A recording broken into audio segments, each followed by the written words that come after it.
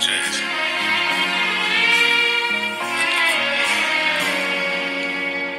Closest thing to Jesus Christ, rocking ice, I'ma give the guy. Can't explain the feeling when I cop that new 650 eye. Curving out, he hope married the paper, bay, I can't reply. Supercharged, I can't tap the gas, all you see is demon fly. Ballin' hard, triple double, T-Mac with the lean and that. Young bitch got no job, she just went cars, that hoe be scheming by. Lobster tail for brunch. What's up, everybody? It's Shawn, and this is Comix Review coming at you, eh, kind of bi-monthly from sunny St. Mary's, uh, California, Maryland. A lot to discuss, a lot of things going on, but let's start off with the pull list. Uh, so far, my pull list, I got The Approach, awesome comic, Batman, Detective, World's Finest. Anybody seeing a theme here? Uh, Black Panther, Flawed by Chuck Brown. Awesome series.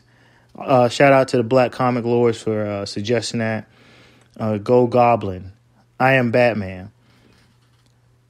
Killadelphia. Awesome book by the great one, Rodney Barnes. Lovesick. Maniac of New York. Miles Morales Spider Man. Nita Hawes' Nightmare Blog. Awesome by the great one, Rodney Barnes. Nightclub by Mark Millar. Silver Surfer, Ghostlight. Awesome book. Something is Killing the Children by James Tynion IV. Amazing Spider Man. And I got a plethora of Star Wars titles. I didn't realize I liked Star Wars until a couple years ago, and I just can't get enough of them. Uh, Sana Starros, Vader, Doc Aphra, and the High Republic. And High Republic The Blade. I'm also reading Strange Academy and Year Zero.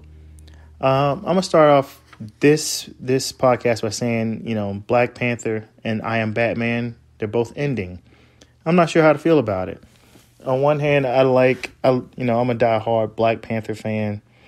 Um, he's he's been a part of my, you know, growing up. You know, I've been reading comic books since I was nine, so it's weird to see, you know, him as popular as, as he is, and stories that he's in right now in his own series. I do not like this current run of Black Panther. I'm I'm coming out and say I don't like it. I hate that they uh, beating him down, kind of disrespected him. You know, not just uh, in his own title, but outside of his title. On some of these covers, they're making him look like he's I don't know. They're kind of like emasculating him, and I don't like that at all and it's and it's really weird to see it and it's weird to read it and it's even harder to comprehend that it's coming from an African American writer, John Ridley. And on the same token, Ridley also writes I Am Batman, which is also ending uh, with the next issue. Um, but it's a total, you know, total flip flop of that. I like I Am Batman. I really like the the universe that he's he kind of built up with his series um, with Jace Fox because you know Jace Fox had the you know the future state the you know the next Batman and then he had the Second Sons the mini the two different miniseries before he had this title. And I thought he did they did a, a lot of extensive world building and character development. Jace is not perfect. Jace he makes mistakes. He's a rookie, a superhero. He kind of let the, let the world down a little bit when John, when uh, the new Superman, Jonathan Kent, who's who's also a very decent character too, came to him and asked him for help during this crisis event. And he said no. You know, I'm worried about the people in my own city, which is a very myopic view. But I kind of get where he's coming from. A lot of times and I'm speaking from my own experience. A lot of times, uh, black people will be like, "Oh, we need to do this and do that," and we don't look at the problems in our own communities to try to fix them first. So I understand his realm of thinking with that, but I also see why he recanted and said, "You know what? This is a bigger problem than just uh, you know this community is is my problem, but the whole world is you know this could really destroy my community too." So he went to go help and I and I really like that about him. You know, he sees his mistakes, he he tries his best to rectify them, fix them, and that's what I like about Ridley's take on him. And and it's weird because he's dealing with two highly, you know, successful black men as the lead protagonists, but he treats one of them totally different than the other one. And I don't know if it's an editorial decision, editorial direction, or not. You know, I I, I don't know. And when I say I, I don't like his characterization of T'Challa, Black Panther, I think it's, I think it, it might be an editorial thing. It might they might be saying, "No, he's going to have a, a fall from grace, and then he's going to be reborn again," or some bullshit like that. Who knows? I just, uh, I don't like it. But it, like I said, it's interesting that he writes both of these characters simultaneously, and they almost had the same kind of run, uh, 14, 15 issues, and uh, they're going to stop. But I really like, uh, I really like I Am Batman, Jace Fox. I hope they do more with the character. I hope he's not like another Batwing. He has a good, you know, 30, 40 issue run, and then they kind of forget about him. And oh, by the way, I bought some Batwing over the last couple months. I bought issues one through ten, and it, and it's a decent read. And Batwing is his brother, really decent character. Um, I don't, I don't want to get off into a tangent about what I think they should did with that character, but you know, sorry to see that both of these two of my favorite titles that I look forward to pulling every month can be going away. So that means I got to figure something else out. I know you heard me mention Flawed by Chuck Brown. Chuck Brown's a pretty good writer. Uh, you see his body work, he is amazing. And Flawed, they're, they're in issue five right now. Four, I think it's five. Um, but it's a really interesting premise as well. It has really decent art, kind of cartoony for my taste. But you know, it it does sequential art very well for what it's trying to convey. But it's a really good story. I don't want to give any spoilers, but uh, the protagonist is very interesting to say the least, and so is the antagonist. Um, I think it's interesting to have both, you know, women of color in both roles. I don't know if I've ever seen that before. In in uh, I would say big three because image is kind of like a big big deal too. But it's it's interesting to see that. Um, but if you haven't read it yet, go check it out. Flawed is a really good book. Uh, surprise read of the week or last couple weeks is um, IDW's Dead Seas. Uh, it's a strange, it's a strange story if I've ever seen one. Um, it's interesting. They these prisoners are on a floating prison ship, and they're basically made to clean up. Proto- well, let me back up. The world of Dead Seas ghosts are real, and they leave ectoplasm. The ectoplasm is being used as a fuel source and as a revolutionary panacea to cure diseases, um, give power to places, and stuff like that. But the ghosts are real dangerous and they drive you crazy. So, what some capitalists did, let's put them on a ship and harvest this ectoplasm. But how do you harvest this ectoplasm? Because it's effing dangerous. Oh, let's get people that society doesn't care about. Let's get prisoners. Let's get let's get some you know basically some slaves, and say let's harvest this ectoplasm, and let, you know sell it. So that's what they did. Some billionaire they call him a gazillionaire. He gets a, a floating prison ship, makes prisoners clean this ectoplasm and store it, and they'll get time off of their sentences. It sounds very familiar to how the, the prison infrastructure does now, where they have prisoners donate donate organs for for uh, suspended sentences and to take time off of their sentences. Very similar to what's going on in America right now. But anyway, that title is really good. It's only on issue two.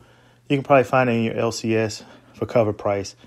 Um, the art is kind of cartoony, but but passable. Um, very interesting.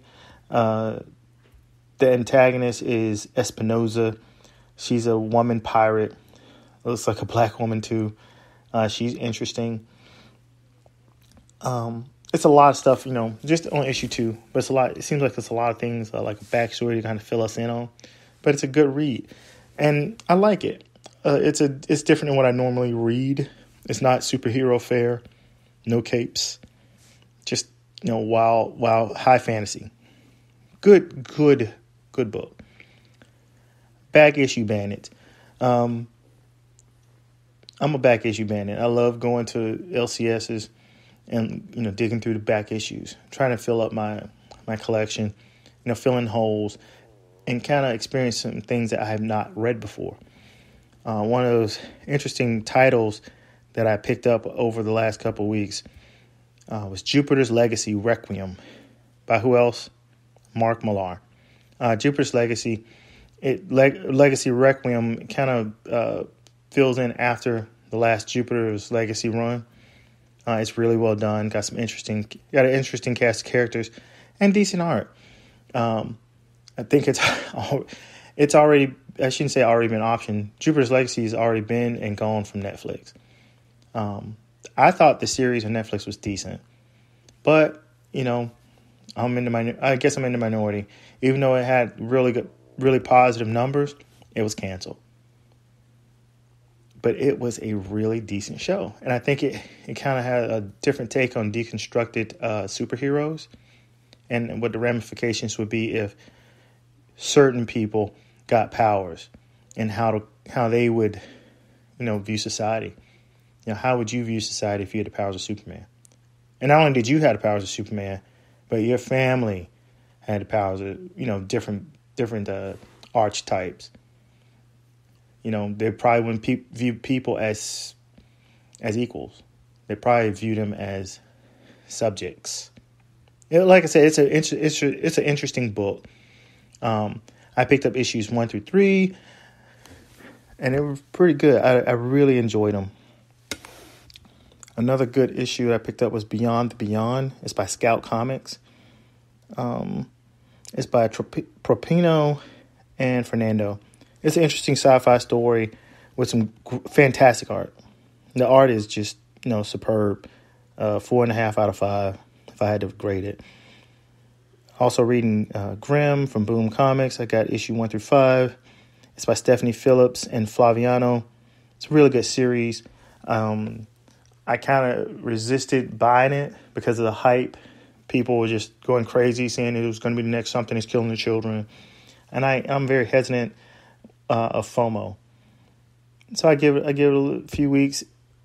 Actually, with this, I gave it a few months, and I was like, yeah, my my pull list is a little light, so I'll grab something I, I didn't normally I didn't grab before, and if it's got issues one through whatever, I'll grab them, and I'll give it a read. And I gave it a read, and I liked it. I think it was really well done. The art, the story, the color, the coloring too, really got me off because it seems like it's kind of dark ish and it's you know it's it's going somewhere. Um, I probably need to fill fill fill up the rest of them, get the rest of them, and read the entire thing. Um, or just wait for the trade paperback since I like issue one through five, four or five. I think it's five. I got yeah, I got five. I like all of them decent, so I'll probably buy the trade paperback. Shifting gears into TV and movies.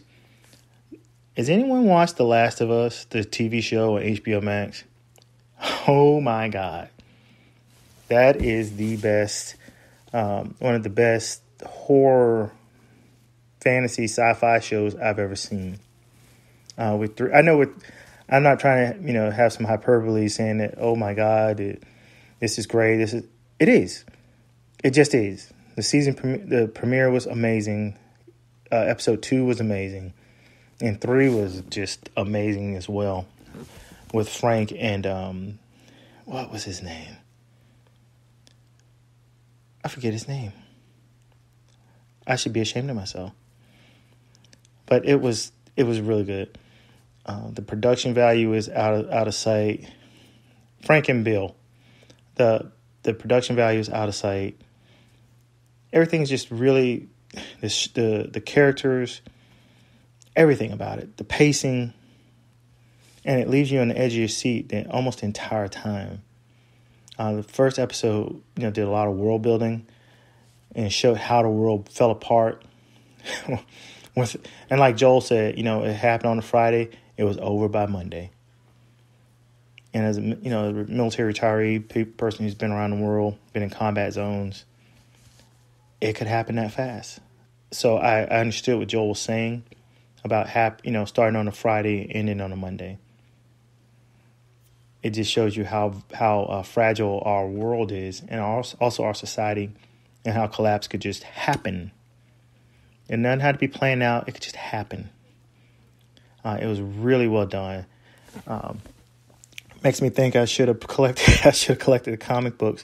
I don't know now the comic books the speculators have already, uh, you know, selling them for mint right now. I think the one of them sold on eBay for about sixteen hundred dollars, nine point eight. The Last of Us. I think it was from Dark Horse Comics from twenty thirteen. It's been a while. Yeah, I think it's twenty thirteen. It was a companion series to go along with the game when it first launched. Um, it was a mini series, American Dreams or something like that. I, and I've seen, you know, years years ago, those very books just around. You know, maybe three, four dollar bins, four or five dollar bins rather. And it wasn't that many of them. I think the census, they don't have a lot of them on the census, the CGC census. But according to Comichron, it's only like 6,600 some issues printed of each version, each each number.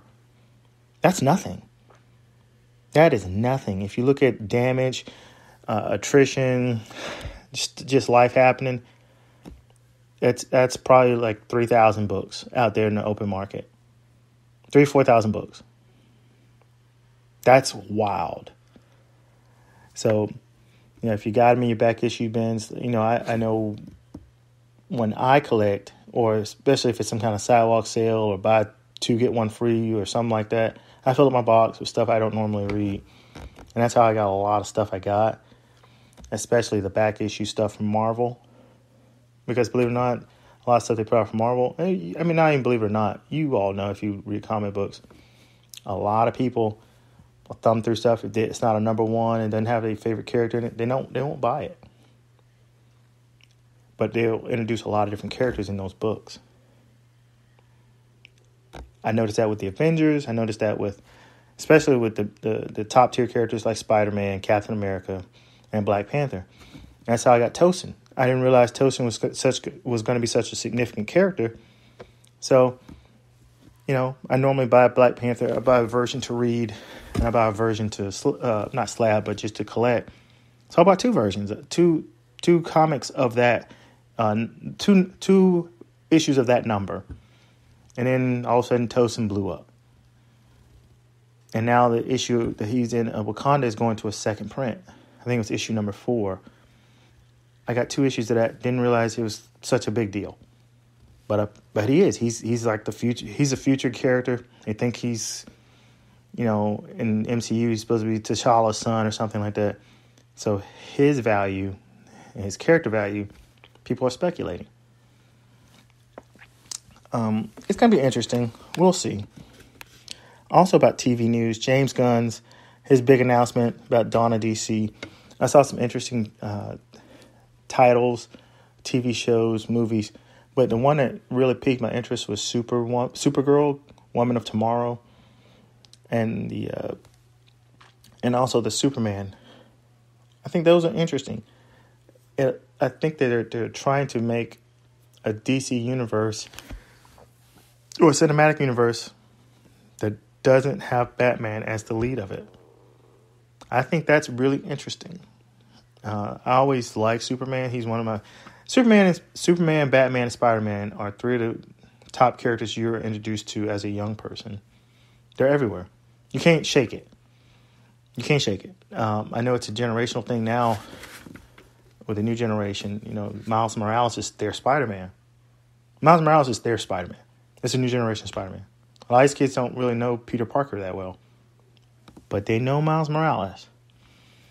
Um, but kids are always introduced to Batman and Superman. And Superman's a really good character to get introduced to. He's a friend to everybody, not just certain people. He's the dude that if you come to his door and say, "Hey, I need food, I need this and that," if he if he he give it to you. That's just the way he is. He's a nice guy. He's always been portrayed as a nice guy. You know, the World War arc was a little different because he had to, you know, basically overthrow Mongul, which is a good arc. But I've always read Superman. I've always esoterically collected him. Like if you look at my collection, I got several hundred yeah, Adventures of Superman, Man of Steel, Action Comics, super, uh, you know, different miniseries, World of Krypton, World of Smallville, and a million other like one shots, Superman the Authority, Checkmate, million different things. Batman same way, a lot of detective, a lot of Batman, a lot of a lot of uh, peripheral things from the Bat family, Batgirls, Robins, anything you can think of. But those characters are amazing, and I think that it's interesting that he's want he wants to build his cinematic universe around Superman. Um, he's arguably one of the first superheroes and probably the most significant one. So I'm interested to see how that works.